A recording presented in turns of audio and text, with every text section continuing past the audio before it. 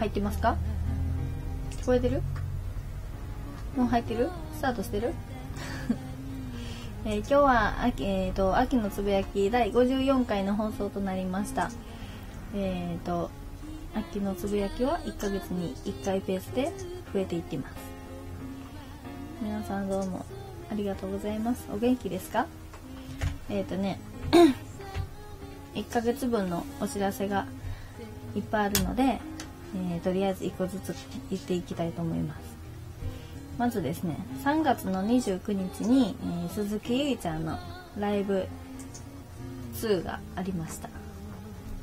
でえっとこれはまだスペップファンの方にアップできてないんですけども私の MC の部分だけがあこっち？も MC の部分だけが載っています。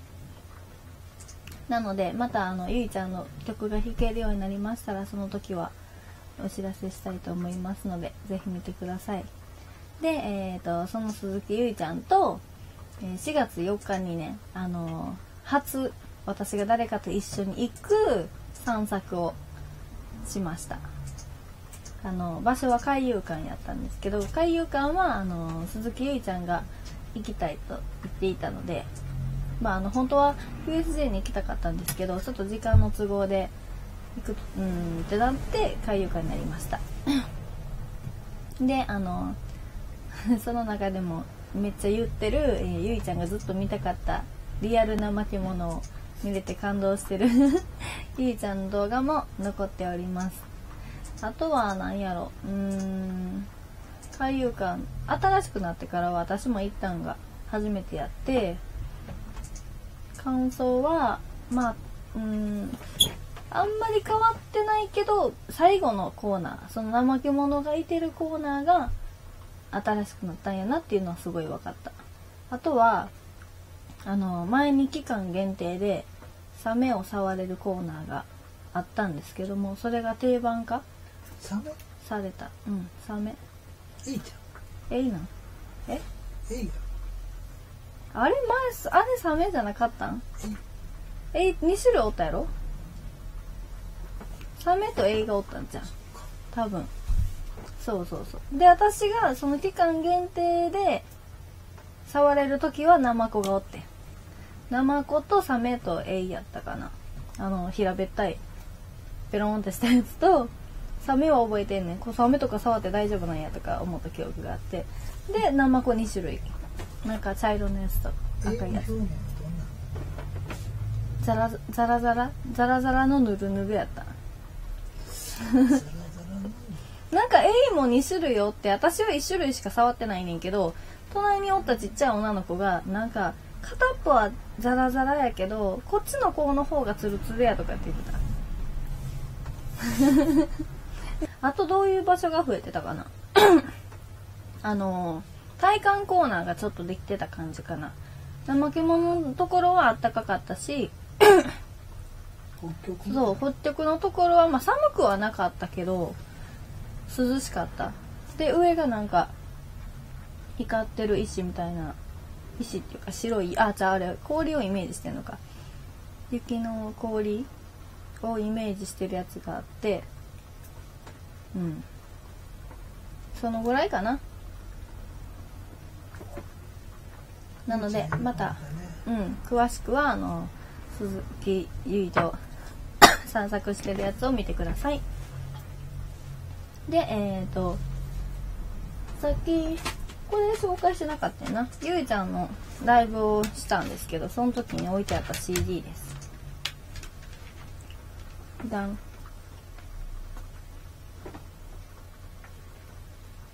どっちが一番やったっけ？えっ、ー、と、こっちが最初の CD の方か。幸せ事務局。で、えっ、ー、と、こっちが2枚目。エクボのお守りっていうやつ。で、こっちにのりさんの好きな原材料名、梅っていうの結構紹介してるやつ。もう、あと、キリンとかも入ってんねんで、銀杏ショックも入ってる。私、あれ、雪のダンスやったかなとか、まるまるピースっていうのなんかライブで聞いたことがある。で、こっちに入ってんのでよく聞くのは、ボブとドゥと納豆の歌。とエッグゴのお守りも何回かかけたことあるやんな。エグゴのお守りは気に入ってんね。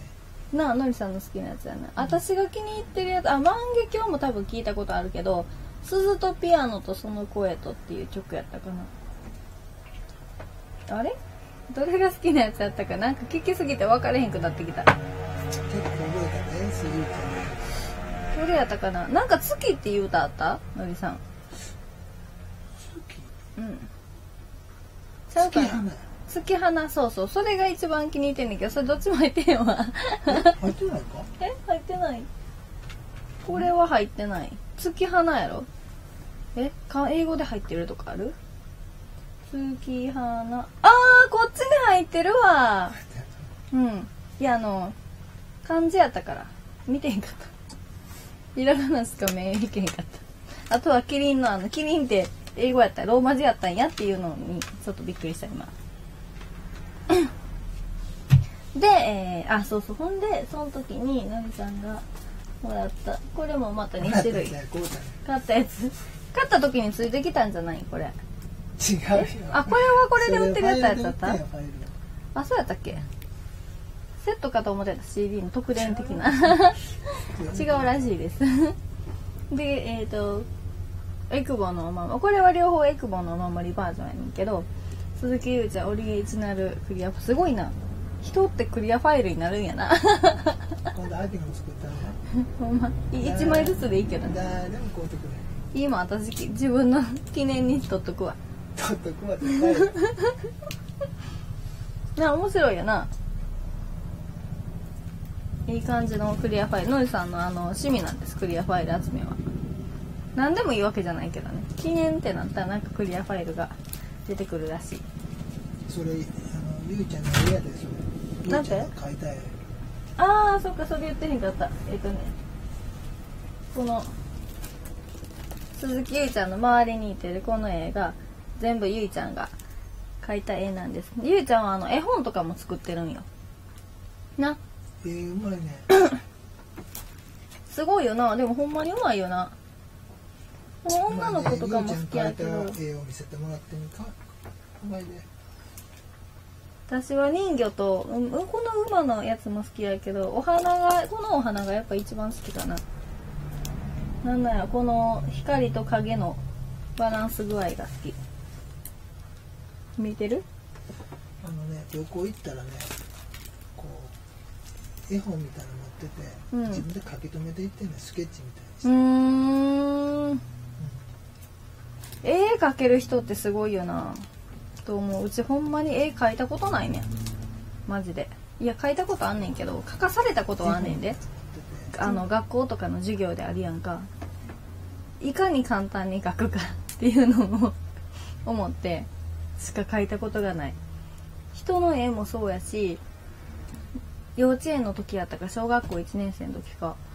あの自分の将来の夢を絵に描きましょうって言った時も何屋さんを描いたら一番楽かなっていうので私の夢はこれです。だってほんまにそうなんでもいいわけやんか。別にそこに書いたからってそれを目指さなあかんわけじゃないんやから簡単なんにしようっていう考えが出てきてそれを書いたりとかあとは小学校6年生の時に何の絵やった？森の絵やったかな？なんかの絵を描けって言われてで 描いてた時に、まあ、木いっぱい描いといたらとりあえずあんまり人とかを描かんでいいかなと思って木をやたらでかく描いたりとかしてて。そう。そんな感じでどうやって手抜くかっていうのに頭ばっかり使ってたらそうちゃんと絵を描いたことがない。ほんまに描いたことがない。でも私なんか知らんけど下手くそなくせに2回賞もらってんねん。そのいかに木をでかく描くかの絵も結局表彰されて賞状をもらった記憶がある。すごいやろ？やのに嫌いやね描くん。はあうまかったらな。表現力が全くないっていうね。あの物作るのとかもさこう工作とかでさ物作ったりするやんか。ああいうのもほんま嫌いでさ。あでき今さ今日の絵描いてないうん。今日の絵描いてないわ。そういうことしか書いてない。今日かかない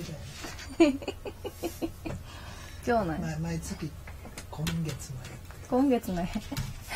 そんな絵心ないのにな。ほんまに。棒人間が一番簡単やのに。こう丸書いてピョンピョンピョンピョンっていうやつ。あれが一番好き。簡単やから。でどこまで言ったかな、えーゆいちゃんの散策行ったやろ。ほんでその4日後の4月8日はまあ私全然関係ないねんけど一条かよことおしゃべり。これは何 ?6 になるのか。パート6だって次が7っていうことは6ってことやろ？がありました。この時は私あのなんだっけパソコンが重たかったからか？聞き流すことしかしてなかった時やったと思う。うん。ほんで、えーあそう4月10日にあの堺でものすごく有名なあのえ？早すぎる？でもまだ結構あんねんけどな言うこと。半分いってへんで。まあいいや。これ長いしな。あのゆずからりんっていう食べ物があってでそこのお店紹介の散策に行ってきました。であののんりさんが言うには最初聞いてたのは柚子胡椒って聞いてたりとかあのなんだっけ。七味？ちゃうな。なんて言ってたんやろ？なんかで読んだんがそうパッと見が一味とか七味とかそんな感じのやつやね。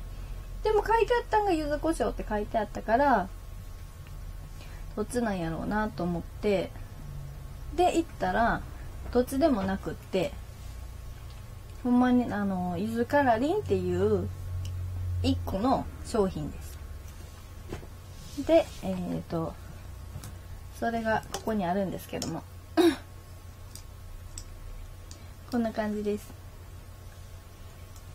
これがパッケージ。でパッケージもあの動画には残ってるんかな？一応ゆずからりんという名前になったのも由来がちゃんとあったんです。でここに書いてるのが赤い柚子胡椒。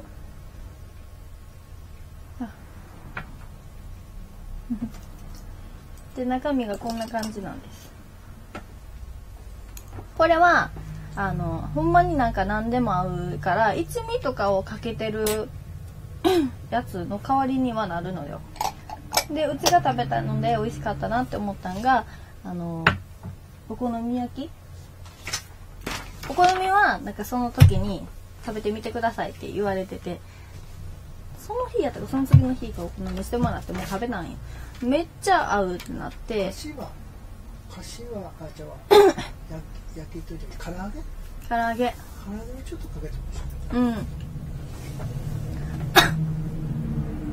唐揚げを美味しいって言ってたで。意外とかけてみるとちょっとね臭みがポンと残るやつにかけると、うん。その臭みが消えてあああここにも載ってたわ。お漬物って載ってた。漬物って。そううち漬物にかけて食べてん。美味しかったん漬物にも合うんやわと思って。でまあうどんとかはもちろん合うやろ。であとはおでんも合う。なんかさそのおでん昨日おでんやってな。おでんにかけて食べててんけどあの私が行くおでん専門店みたいなところがあるんやんか。梅田の。ああっこあっこ何だっけ？4W があったところ。グランフロントや。グランフロントのおでん屋さんのことをどっかで言ってるはずやねんけど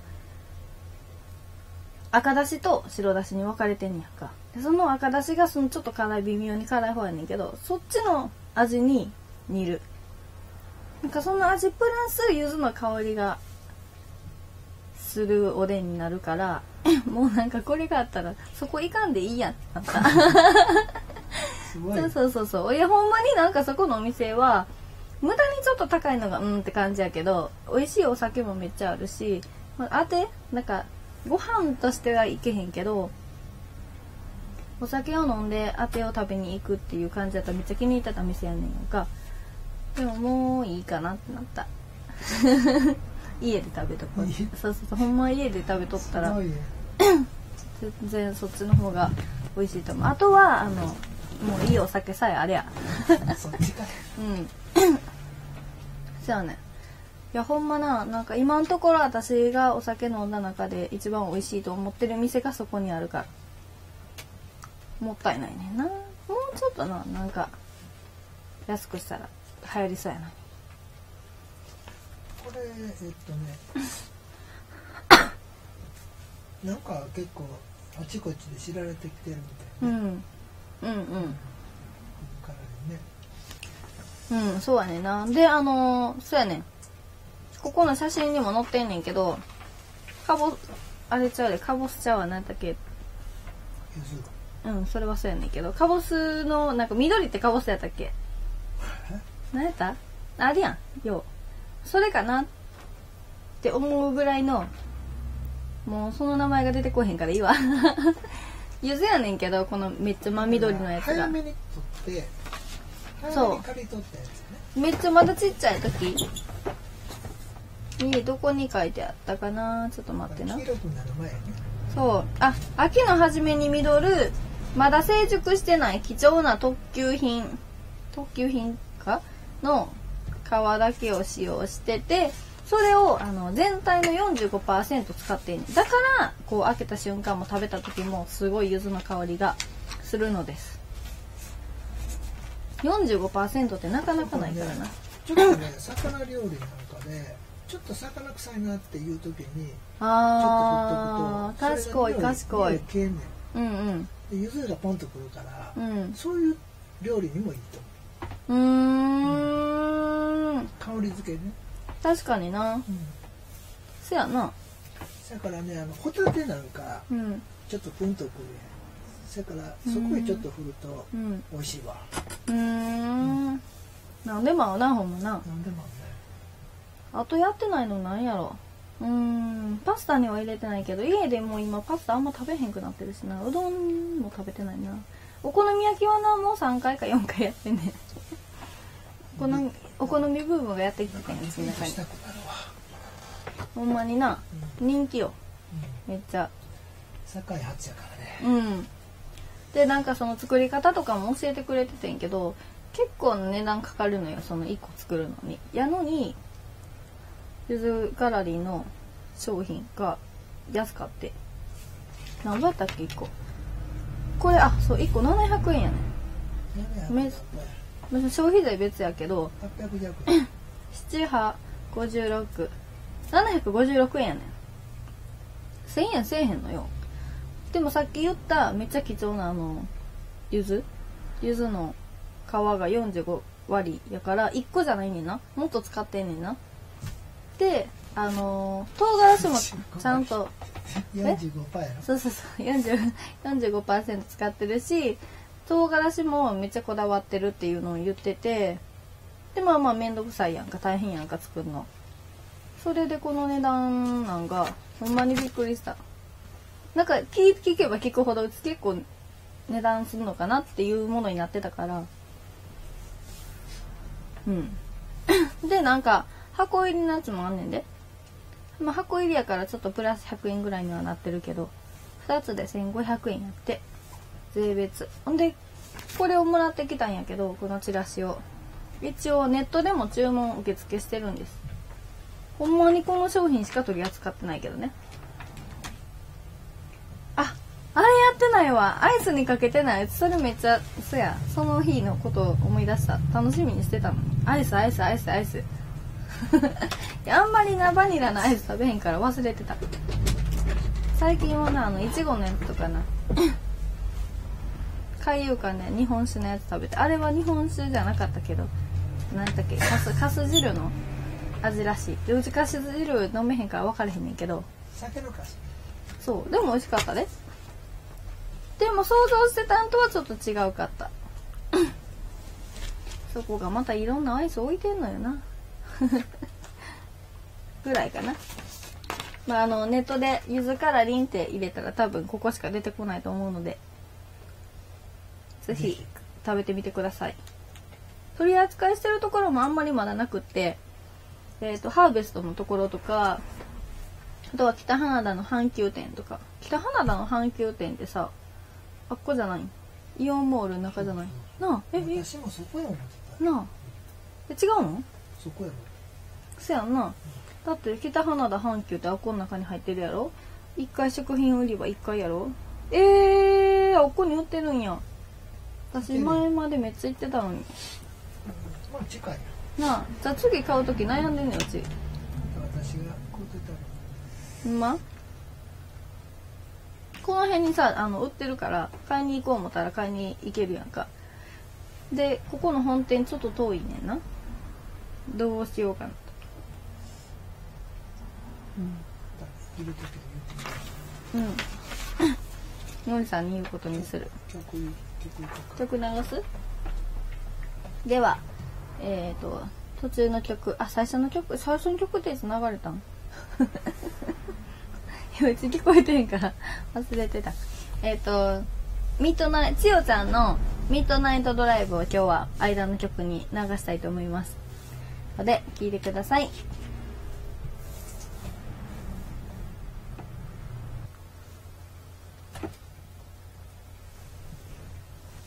はい、えー、今流れてた曲が千代ちゃんのミッドナイトドライブという曲でした。久しぶりやね千代ちゃんの曲。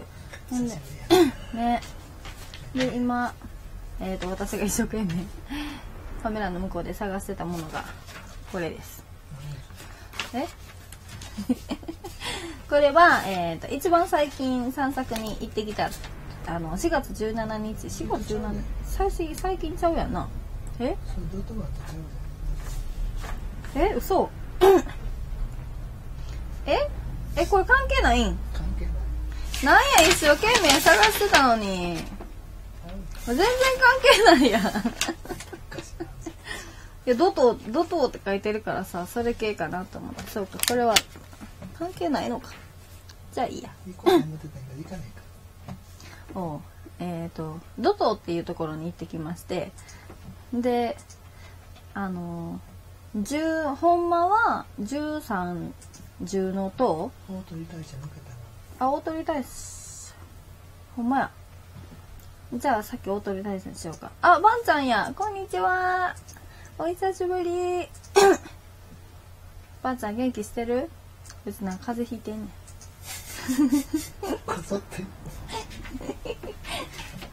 ん。ん で、えっ、ー、と、そうや、ほな、ちょっとドト忘れて。近くの、近くのじゃん。えっと、ゆずカラリーの帰りに、あの、その近くに大鳥大社っていうところがあって、堺の大鳥っていうところやつじゃなくって、あの、大きい鳥って書いて大鳥大社っていうところがあります。で、それももうスペップファンのに載っけてるんですけど、何があったかな？桜が綺麗やったっていうところでで一応なんかあの相変わらずピチピチしてそう動いてるやろ。この辺見ちゃったら絶対目に入るからな。あの誰誰誰やったっけな？誰かが亡くなった時にそう大和の武の御え？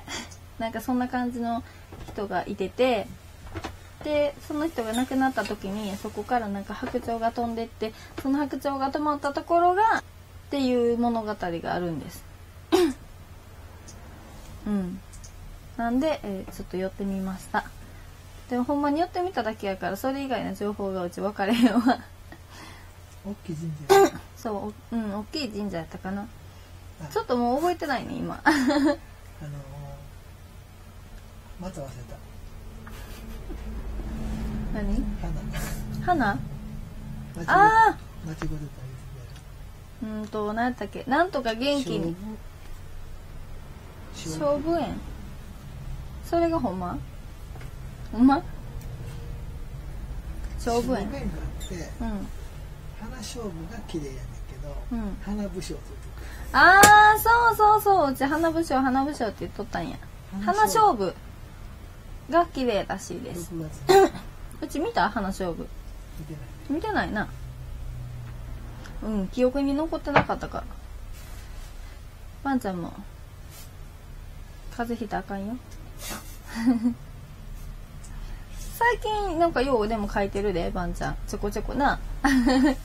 コメントには書いてないけど見てんねんで一応たまに書くけど。な今日ぼやいてる。そうそうそうそう。どんな話言うてる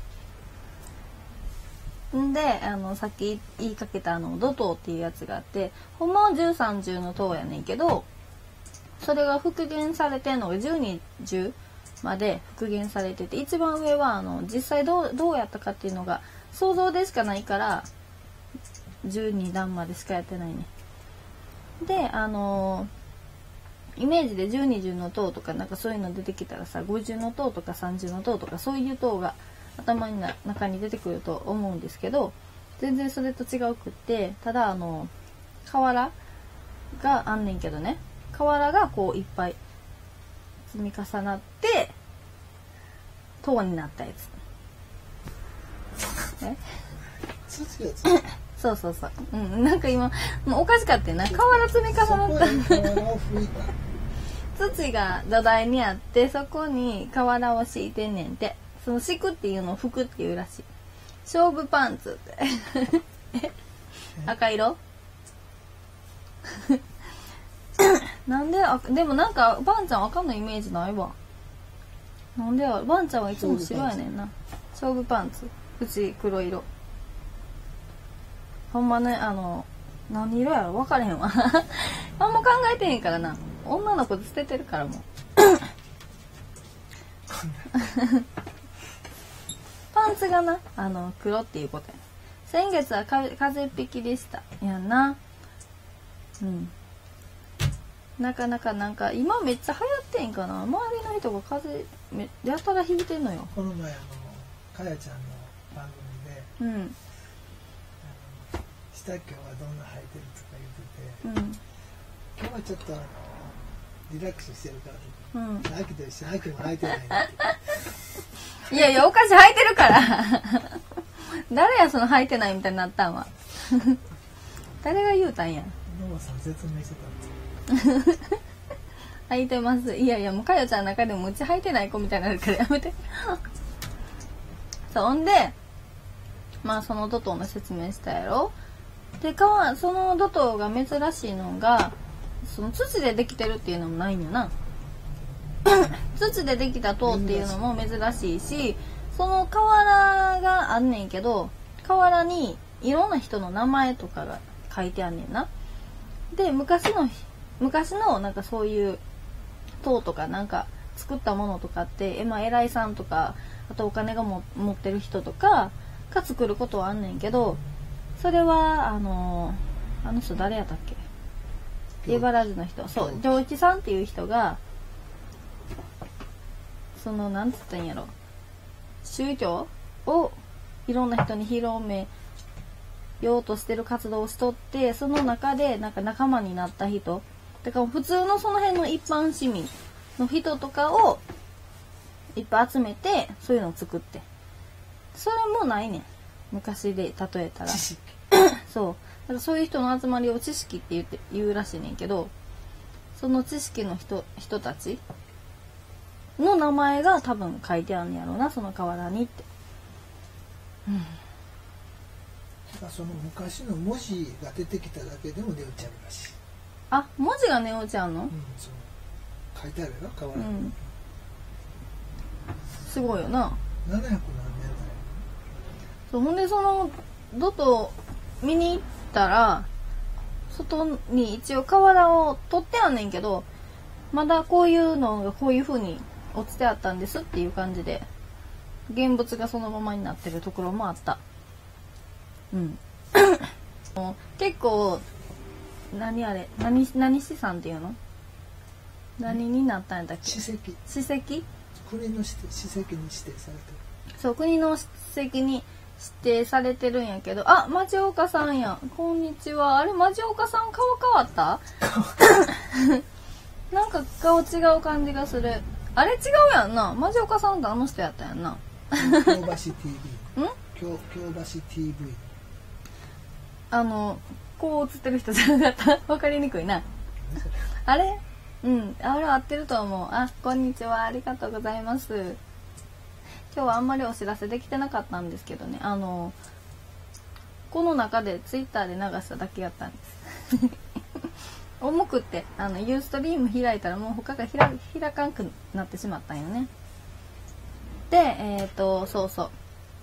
その近所の人たちはスペップファンにアップしたところにも書いててんけどそんなすごいものがそこにあるっていうのが多分分かってへんくってなんなんやろ？あれは何何かなっていうシンボルなんかのシンボルかな？公園のシンボルなんかなっていう感じで置いてあると思ってんねんな。しかも裏側見たら裏側に回ったら全く完成してない方になるからうーんそら分からんわな。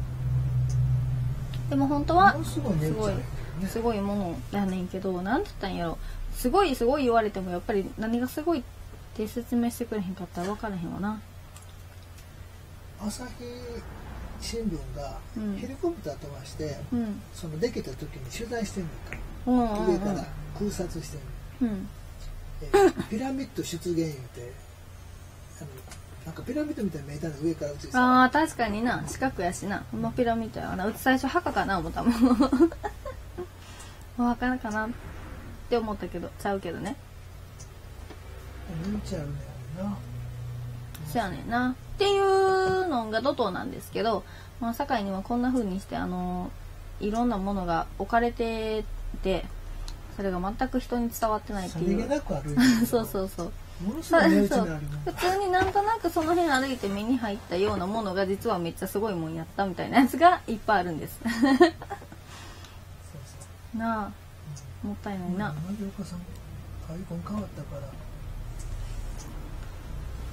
うん。でも名前で覚えれてたから大丈夫やった。京橋 TV うーん思ってる人と一緒のはずやねんけどな。まああのドトーのやつはぜひ見てください。実際でもうちあんまり書いて説明できてないから動画見てもらった方が一番わかりやすいと思うねんけどな。うん。はい終わり。で、えーあとは5月13日の午後9時半からは、えー一条かよことおしゃべり7を配信します。5月13日。まあ、うん、あと2週間後ぐらいかな。早いよな。一条かよことおしゃべり。この前初めてって言っとって2回目言うて。もうセブンやでな。え1年経つあ7ヶ月。今日1年経7 ヶ月な。嫌いすぎる。どっちかって言ったらまだ半年やねんけど。あんたまともや。そやろ？ほんでえっ、とそっからまあしばらくして5月22日の木曜日には、えーまたまた鈴木ゆいちゃんのライブが大阪であります。あまたあんの？そう。何初耳みたいな感じで言うてる。えでもこれはあのいつもライブをやってる街の明かりではなくって今回初めて場所を使わせてもらおうと思ってるあの 近鉄の奈良線にある河内岩駅っていう駅があるんですけどそこからま結構近いところにあのライブバーエレキの店っていう場所があるんですね。でそこで、えー午後の8時か午後のちゃうね。そうまあいいわ。午後8時から鈴木ゆいちゃんのライブをしたいと思います。またなんかね雰囲気が全然違ってライブをするっていう感じのバーやね。ん？そこはな。ライブする。そうあのライブバーっていう感じ。松の明かりは別にライブをするためのバーじゃなかったやんか。ライブをしてるけど。バーにスペース。そうそうそうそう。バーにスペースがあるからライブしてたけどエレキの店は一応前にミニステージみたいなところがあってそこで演奏してもらってその周りにこう座るところがいっぱいあるからどこの席に座っても同じように見やすいんじゃないかなと思う場所です。うん、で、まあその日、え？文字が薄いて入れほん。でその次はあの次の日23日は鈴木ゆいちゃんとついに USJ に行ってきたいと思います。ゆいちゃんが行きたかった場所やったんですけど、まあ、この日はあのラストまで最後の時間まで折れるっていうことなのでパレードも見れるし平日やし。金曜日やったらどうなんやろな。まだ人少ないか。まあまあいろいろ何個かは乗れるんじゃないかなと思います。で一応これもあの皆さん来てくれるのは構わないのでぜひ鈴木ちゃんに会いたいなとか思う方は私もね。もう私大阪の人やから結構おるから。あ了解です。ごめんなさい。保育園でお迎えなので離脱しますって。ありがとうございます。ばんちゃん気をつけて。いってらっしゃい。もうばんちゃんも忙しいな。うん。そうそうそう。この前もなんか変なダジャレ言ってたね何 やったっけな。物をなんかねだられた系やねでそれに付き合ってたら大変やわっていうのをうまいこと言ってた。おおって思ったもん。でそうあの来られる方は、えー、現地集合現地解散で滑って一応実費でもうなんて言ったんやろ。普通に来てもらう感じになるんですけど。11時ぐらいうん。お昼の11時ぐらい、からそうそう。夜の、まあ、パレード終わるぐらいまでになるのでんであのもし乗り物乗りたいなでも人待ち時間とか嫌やなっていう方は私がのりさんがあのいいものが あるのでそれでねなんつったんやろ。これを持ってる人が買えるチケットがあるのでそれを使ってもらったらあのブックレットセブンとかそういうのを買わへんくても乗れるやつがあります。はい。数で割ったらね、そうそうそう。だから1人で買うんやったらちょっと高くなるからもし2人とか3人とかおったらその分安くなる。あれ一番少ないのって何枚綴りあったっけ？6枚綴りと12枚綴り。そうか。ほんなら、まあ、1人で6枚よりは、まあ、2人で分けてもらってもいいから6枚綴りを2人で分けるとしたら3つずつ早く乗るのができちゃうのでやっぱアトラクションつ乗れるっていう。そやな。7番とね。うん。でまあ1人しかおれへんかったら6枚使わなあかんけど結構使えるの多いねんな。何に使うのが一番いいんやろ。やっぱりスパイダーマンやな。スパイダーマンの人気は でかいスペースファンタジーじゃな。いあれは並んだ方がいい。だって10分15分やんスペースファンタジーじゃないでよあれえらい。し並ぶね。ハリウッドドリームザライドやろ。スペースファンタジーじゃないのちゃうってあれ並べへんって。並んでね並んでないわ。15分20分やって。平日やで。土日ちゃうで。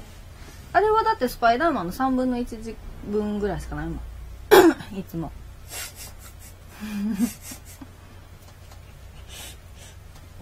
うん。そうやな。あんまりな。それはな人気ないねん。多分ちっちゃい子。人気やねんけどちっちゃい子が乗られへんのもあるやん。ってなったらやっぱり乗れる方に行くからスパイダーマンとかの方に行くねん。で怖いの乗りたい人はジェットコースターに行くね間やねんな。だから分かれるねん結構私気に入ってんけどうん。いや面白いで面白いと思うねんけど待ち時間にはあの何何いいやん少ない方が。早い方がいいやんか。それはなあんまり使わんでいいねんな。だからな乗るってなったら何でも乗れる人やったらジェットコースターやろ。あれはな1時間とか50分待つとかになるから後ろ向きには使われへんけど前向きでそんぐらいやねん。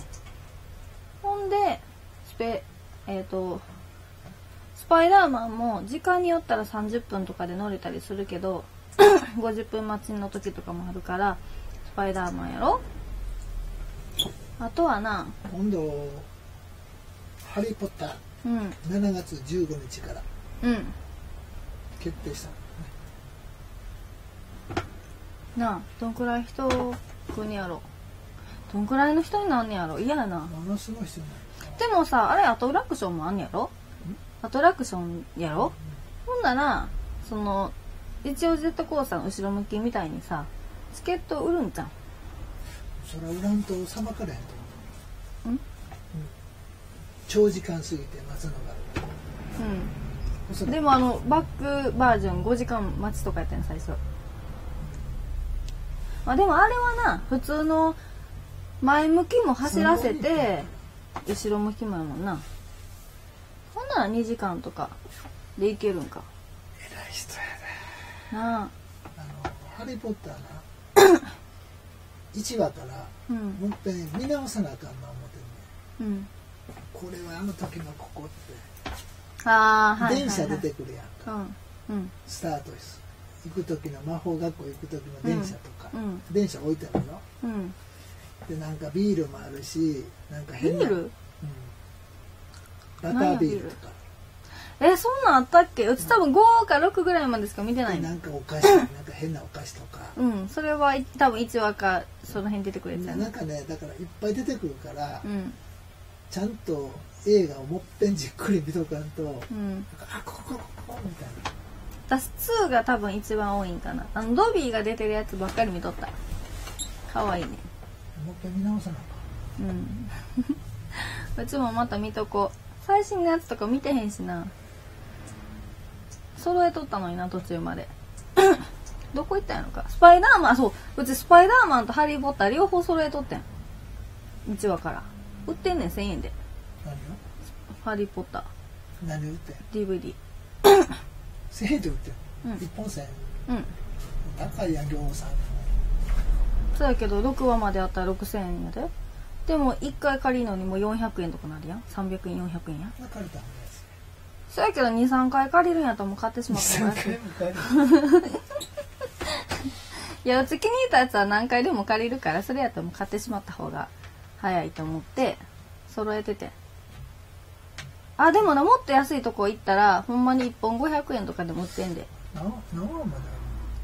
だって3本で1000円とかのとこもあるもん。で何話まであ分からん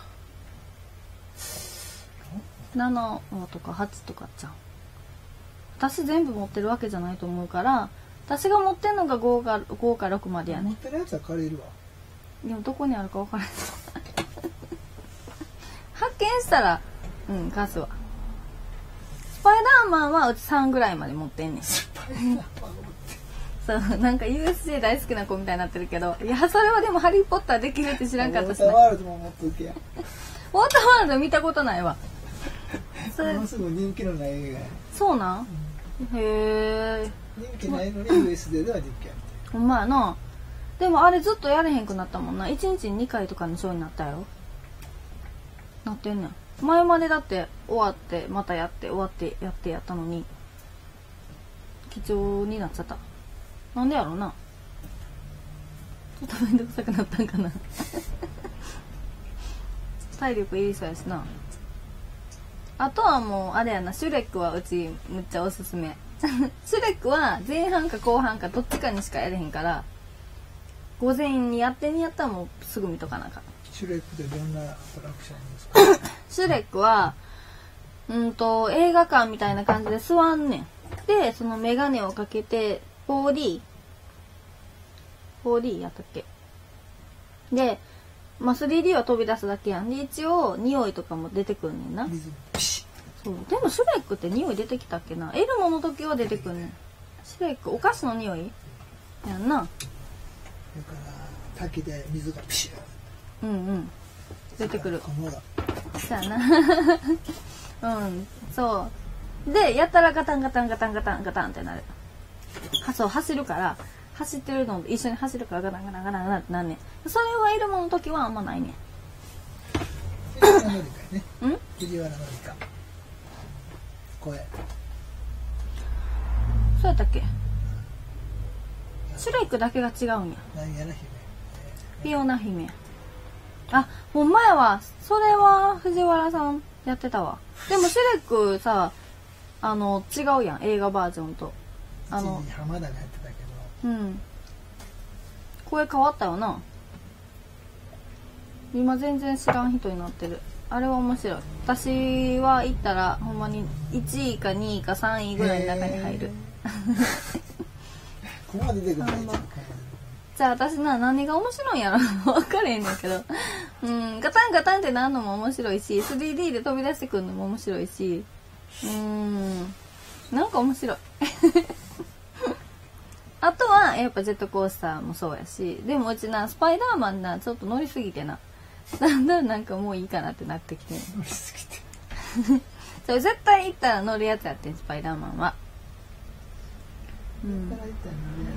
そう。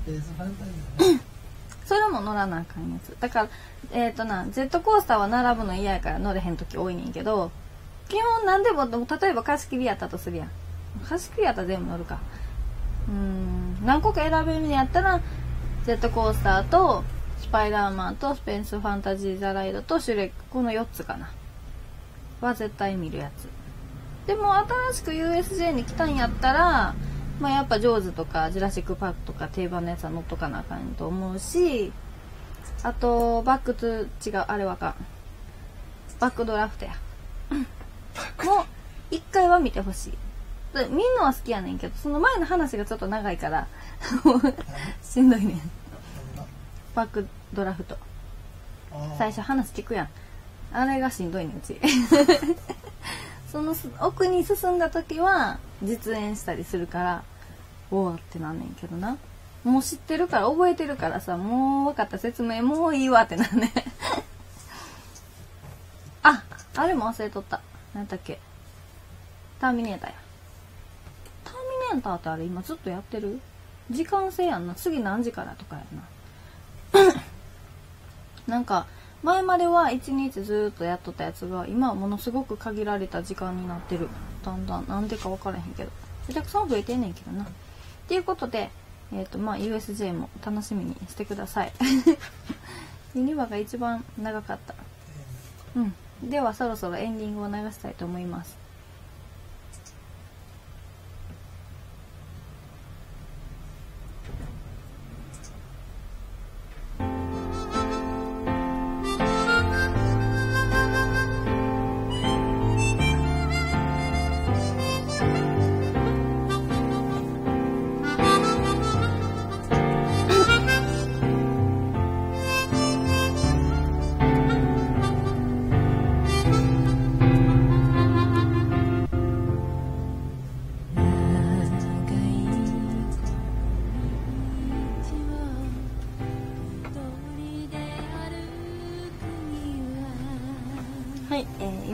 今流れてるのが秋のつぶやきのエンディング曲の「明日の夕暮れ」です。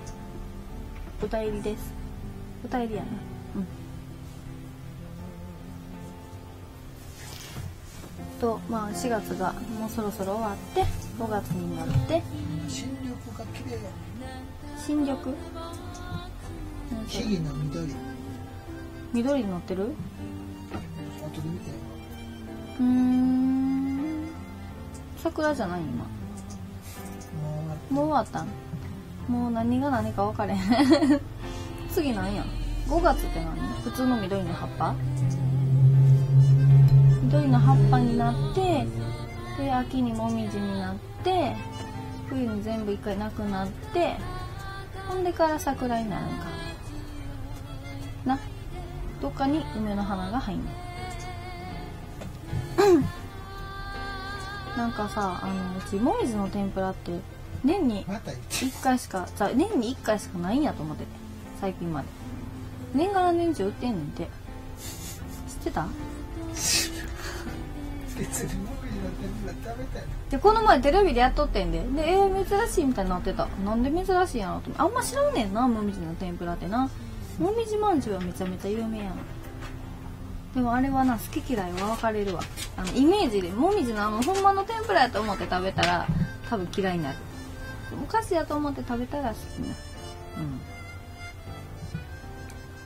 ん。で何やったっけ？そうやエンディングやってないもん。うん。次の予定は？次5月の最初1日じゃん